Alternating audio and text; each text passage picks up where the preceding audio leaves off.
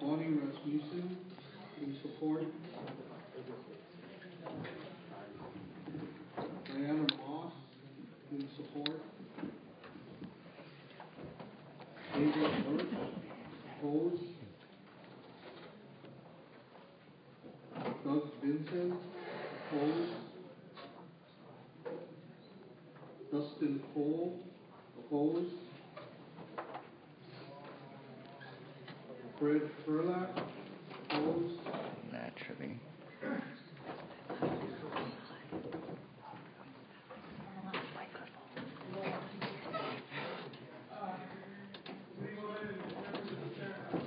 of the committee, thank you for the opportunity.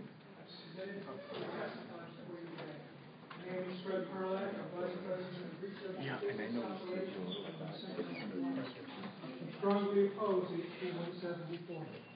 I've submitted formal testimony and I have two brief comments for the committee to consider. Please do not ignore the large body of scientific evidence and years of safe use that demonstrate the safety of these GMO products. I'm very familiar with many of the GM plants in the marketplace today, and I'm willing and able to answer any questions that you might have. Also, the question before us on labeling is not a question of safety. Labeling is a means of trying differentiate food products where no differences exist. There are no nutritional differences or valid safety concerns.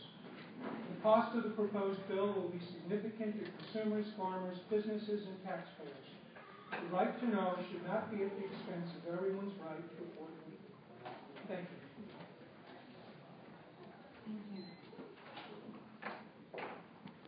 Joanne Young, opposed. Xavier Menendez Alvarez, support.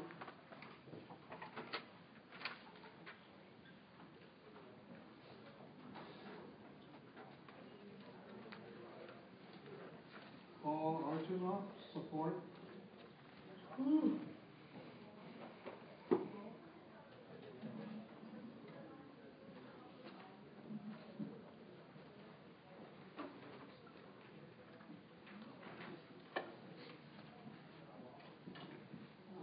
Aloha. Thank you for the opportunity to testify. Uh, I'm Paul Achitoff, uh, an attorney with Earth Justice. And uh, Earth Justice supports this bill. People of Hawaii have a right to know whether the foods they purchase, consume, feed to their family, and serve to others have been produced through genetic engineering. This is not only a question of health, genetically engineered foods, uh, the production of them have a variety of serious environmental uh, problems that are well established in the science. It's a fact that the production of these crops has caused the use of hundreds of millions of additional pounds of herbicide on our fields. It's a fact that millions of acres of our agricultural lands are now infested with herbicide-resistant weeds as a direct result of constant dousing with Roundup to which these crops have been engineered to be resistant. Nearly half of all of U.S. farmers now report Roundup-resistant weeds in their fields as a direct result of having grown genetically engineered crops. This is up from only 34% the year before. It's the herbicide that is now used on these crops now found groundwater, surface water, and even rainwater throughout the Mississippi Basin, according to a recent study by USGS. It's a fact that U.S. farmers have suffered more than a billion dollars in damage as a result of their crops being contaminated with genetically engineered varieties. Our rice farmers alone suffered about a billion dollars in damages as a result of contamination with genetically engineered rice just a few years ago. And numerous studies have suggested a link between ingestion of certain genetically engineered foods and serious abnormalities in laboratory animals and farm animals. Poll after poll has shown that a large majority of people throughout the country and in Hawaii want genetically engineered foods labeled so that they can decide for themselves what to purchase, what to eat, what to feed their families, and what to serve to other people. Neither the companies that genetically engineer the crops, nor the farmers who choose to grow them for their own convenience, nor the companies that process them have a right to enrich themselves by forcing everyone to buy their food blindfolded. Secrecy at the expense of others is not an acceptable method of marketing or enhancing profitability. So I respectfully ask you to pass this bill. Thank you for the opportunity to testify. Thank you. Gary Hooser? Thank you.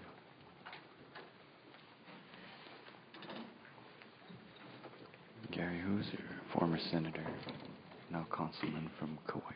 Good afternoon, members, chair, vice chair. My name is Gary Hooser. I'm an elected member of the Kauai County Council. I'm speaking today on my own behalf as an individual. However, I wanted to point out, I think it's important that, uh, to point out that the Kauai County Council, Maui County Council, and Hawaii County Council all passed resolutions in support of man- mandatory labeling of GMO products, uh, in the HSAC package, proposed package. I'm testifying today in strong support of House Bill 174, which requires specific labeling for food and raw agricultural commodities sold in the state. I think it's also important to point out that many nations around the world already require label, require labeling GMO products, and that major U.S. grocery retailers are also now supporting national labeling, labeling requirements. Passage of this measure will add further momentum to the national movement to label a leader in this effort. There are many reasons to support labeling, but the core principle is that people have the right to know and the right to choose what they are buying and what they are consuming. Some consumers are concerned about health implications of consuming GMO foods. Without question, the level of sensitivity to chemicals and food allergies varies tremendously from person to person, and without labeling, people are unable to make informed choices. Though there have been many numerous studies of health impacts of consuming GMO products, few of these studies have been conducted by independent researchers focus- focusing on the long-term, long-term impacts on humans, specifically children and women. Other consumers, including myself, are equally concerned about the moral, ethical, and political implications of buying GMO products. And we also deserve the right to know and choose. These concerns include the environmental and social consequences caused by the commercialization and patenting of new life forms. These implications are far-reaching and yet largely unknown. Additionally, the globalization and ownership of the world food supply by a handful of multinational companies is detrimental to food sovereignty and threatens the foundation of traditional agrarian communities. The reduction of biodiversity caused by the concentration of a single dominant species developed through genetic modification will ultimately weaken that species and cause yet unknown impacts to related species. Transgenic foods created when crossing animal and plant genes have impacts we cannot begin to understand, and those with vegetarian diets based on religious uh, concerns deserve the right to know. Locally, the explosive growth of the GMO industry has driven up the cost of farmland to the detriment of farmers who actually get food for local consumption. Most of the debate on GMO labeling focus on the health implications that GMO foods are substantially equivalent and thus should not be labeled. However, there are precedents in law for additional reasons to mandate labeling in food items, including dolphin safe labeling laws, which were enacted for environmental protection reasons. For these reasons, combined with the health and diet implications, myself and many other consumers believe we should be able to choose whether or not we would like to purchase and consume these products. It is government's role and a fundamental responsibility to protect the health and welfare of the people and of the aina. There is no question that more and more people are trying to take back control of their diets and to make better choices with regard to the foods that they consume. I strongly urge this committee to unanimously pass out House Bill 174 and to support the right of the people of Hawaii to know what is in the food they're consuming and to make informed choices based on whatever reason they choose. Thank you very much. Thank Thank you. you. Thank you, Gary. Jessica Newsom, in support?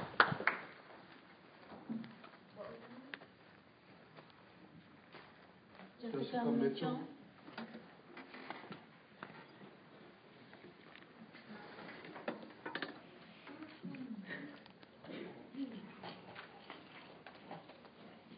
Good morning, everybody. My name is Jessica Mitchell. I am a concerned mother. Um, I am here today because I support this bill. I and many mothers deserve the right to know what we are feeding our children, what we are eating ourselves. Um, And I would also like to point out to Mr. Perlak, if it is a money issue with labeling GMOs, why did Choy, Tsuji, Ito, Har, Say, and others start a bill that says they should label not GMO foods. So if that confuses me. Thank you for listening to my testimony, and I support this bill. Okay, Jessica White in support with John Naylor next in support.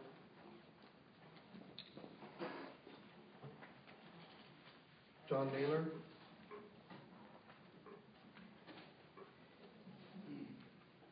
J.W. Nalga in support. Karen Chun in support. Kurt Wonder Hayden in support. Lance Atkins, opposed. Lance Kosh, in support. Lauren Zirbel, Hawaii Food Industry Association, opposed. Lisa Andrews, in support. Lauren Mochito, W.H. Shipman, in opposition. Chairman, Vice Chairman, members of the committee. Um, My name is Warren Mucci, I'm the uh, Director of Agricultural Operations, uh, W.H. Shipman on the Big Island and KL. We currently lease lands to over 120 individual growers. Uh, W.H. Shipman and the growers are strongly opposed to HB 174 relating to food labeling. Labeling requirements as regulated by the Food and Drug Administration is intended to communicate information that is relevant to health, safety, and nutrition. FDA states that there are no significant difference between foods produced using biotechnology and their conventional counterparts.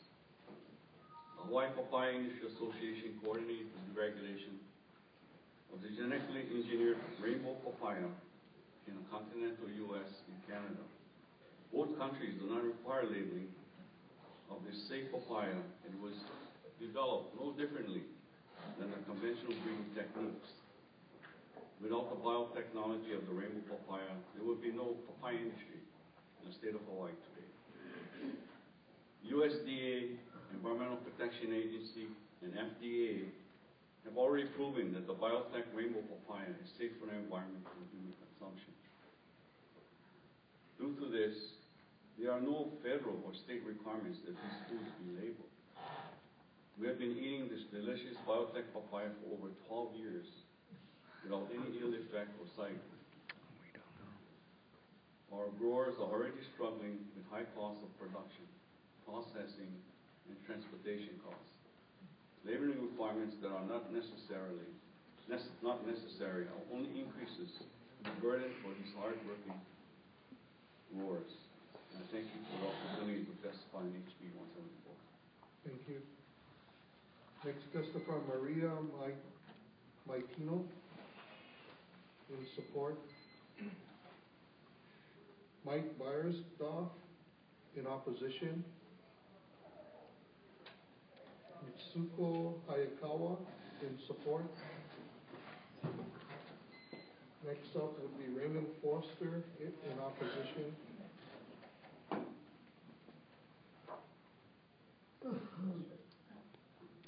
Yes, Hi, um, my name is Mitsuko Hayakawa.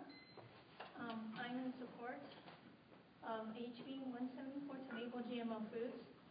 Um, I am a mother of three children, and I have known about GMOs in our food supply and signed a petition with the Organic Consumers Association to prohibit GMOs in the USDA organic standards many years ago. I consider myself to be more informed than the average consumer about natural foods.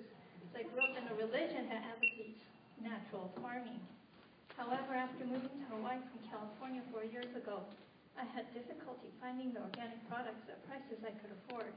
So there were times when I occasionally bought conventional foods, but I always read the labels.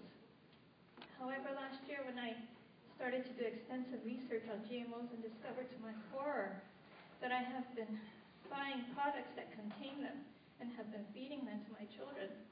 Had they been labeled on the package, I would not have bought them. I believe there are many mothers like me who would make different choices if GMOs were labeled, and for them I ask you to support this bill. Scientists admit that they still have much to learn about genes and gene technology. Just a couple of weeks ago, a discovery was made about the cauliflower mosaic virus that are present in most GMOs, including 54 of the already approved GMOs in our food supply. According to virologist Jonathan Latham, GMO regulators around the world have been complacent and incompetent. They have had the details about this um, cauliflower mosaic virus promoter even before GMOs were even ever approved, but are now identifying the danger. Now the scientist is calling on regulators to recall GMOs that use this potentially disastrous promoter and simply telling consumers that it is that if you want to avoid GMOs, you should eat organic is not taking into account the fact that millions of people are eating GMOs without their knowing and their consent. It is a human rights issue. I believe it is the responsibility of the food industry to inform the consumer of what they are buying. They are the ones choosing to use substances that haven't been proven safe and not, and, and not from nature. And ultimately, it is our children who must pay the highest price with their health. Someday, I believe it will be widely accepted that GMOs pose dangerous risks for health, and just like as we witnessed with the cigarette industry, would legislators who oppose labeling be willing to take personal responsibility for the health of my children and their peers? When that is the case, no. So I ask you today to support this bill and allow us, parents, to make informed choices on what we feed our children. Thank you very much for your time. Thank you. In opposition. Roy Matos in opposition. Shannon Rudolph in support. Ty Lee Maderas in opposition. Umani Cynthia Groves in support. William Bailey up next in support. Aloha, Chairman and Committee. I'm Cynthia, Unmani Cynthia Groves. Um, I, I am a healthcare practice management consultant of over 20 years. I've been studying the literature on GMOs um, for since 2003 when it was given to pigs, and I was shocked to see that it was actually given to human beings at that point. So I started researching. Um, I did bring a number of um, studies that have been done, uh, submitted in testimony afterwards.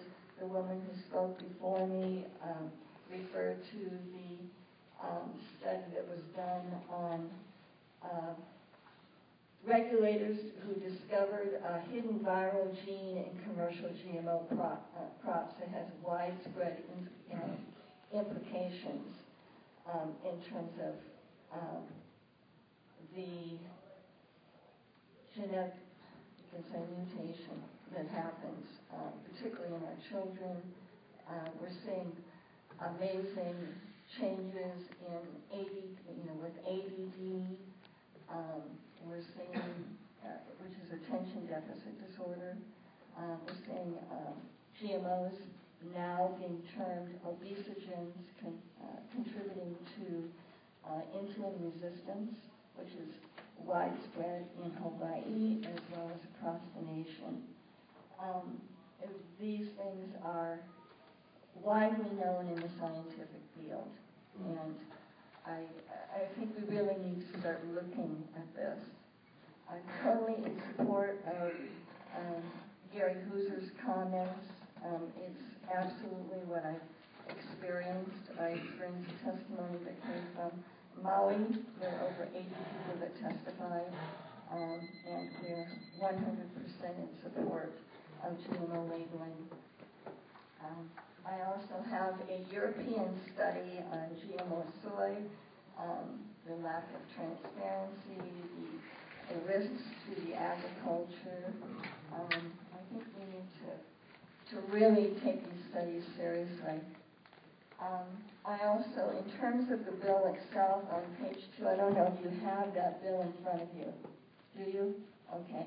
On page two, um, first line, uh, maybe I'll refer to the number seventeen eighteen, um, of page one, and then go to page one and two. Um, the organism from which the food is derived has been injected or otherwise treated with genetically engineered materials. It begins to say, except the use of manure as a fertilizer for raw agricultural commodities it says it shall not be construed to mean that those commodities are produced with a genetically engineered material. Um, these kinds of exceptions are going to be harmful, and, uh, and I, I would change that word, I'll, I'll go into it, but I'll change that, I recommend changing it to saying, um, except, where it says except, include the treatment of genetically engineered manure as a fertilizer for raw agricultural commodities shall be construed to mean both those commodities are produced with a genetically engineered material. Now, the problem with accepting it, okay, and this probably was, came in my late testimony, um, for, for Bill uh, four eighty-nine, is that those, that Bill four eighty-nine that you were discussing, um, exempts inspection of fish ponds. And those, the fish in those fish ponds are being fed GMO soy. And if they're fed GMO soy, that means that those are genetically modified, modified and they're going into poop, which goes into fertilizers. And as it stands right now, that is not labeled, which means labeled, you know, GMO. So what that means is a lot of folks out there that are organic farmers are going to be not knowing that those that fertilizer is going to be put on their land, which is going to contaminate Okay, the land. Cynthia, can you summarize, please? Yeah, okay, that's, that's a change I'd make. The other change I'd make in this bill, um, is the section on page three, um, it would be number D, the section shall not apply, uh, to foods or raw agricultural commodities, and it lists a few things. It's a very simple fix, just to say, they shall apply, take out the word not, they shall apply, but not be limited to foods or raw agricultural commodities. Okay, and the reason why. Okay, thank you. Yeah. Okay. There is a good reason for doing it. Mm-hmm. Okay. We'll let you testify after everybody has had a chance. Okay, yeah. If you want. There wasn't much more to say, but, you know, I thank Okay, you for all the right. opportunity. Thank you.